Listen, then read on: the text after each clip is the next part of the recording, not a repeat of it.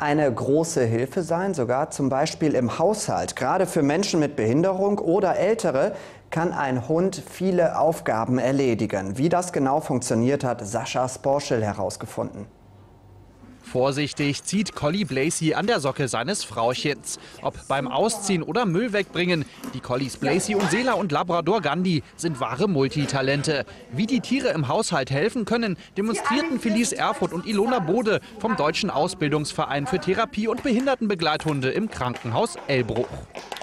Zum Beispiel sind unsere Hunde in der Lage, Ampel zu betätigen, Licht an- und auszumachen, Türen zu öffnen, zu schließen, äh, Socken auszuziehen, Handschuhe, Jacken auszuziehen oder auch ein, im Haushalt Waschmaschine auszuräumen, die Wäsche vom Wäscheständer zu nehmen, solche Sachen halt. Ja, Sie haben richtig gehört. Wie Sela hier eindrucksvoll demonstriert, können die Hunde auch Wäsche abnehmen. Bis zu drei Jahre dauert die Ausbildung zum Begleithund. Die Hunde werden dabei früh mit dem späteren Besitzer zusammen trainiert.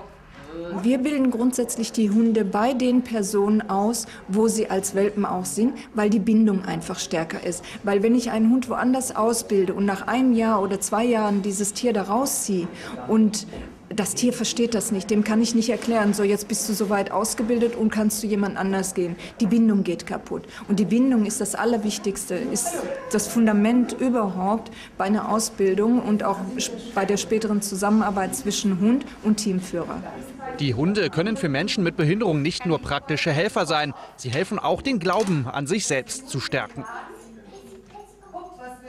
Natürlich, meine Hunde äh, bringen mir viel, viel mehr Selbstständigkeit. Vor allen Dingen auch das Bewusstsein, ich habe was geschafft, obwohl ich behindert bin und auch sehr oft ausgegrenzt werde durch meine Behinderung. Aber die Hunde geben mir natürlich dieses Vertrauen, ich habe was geschafft, ich arbeite mit meinem Tier zusammen und erreiche natürlich eine Menge.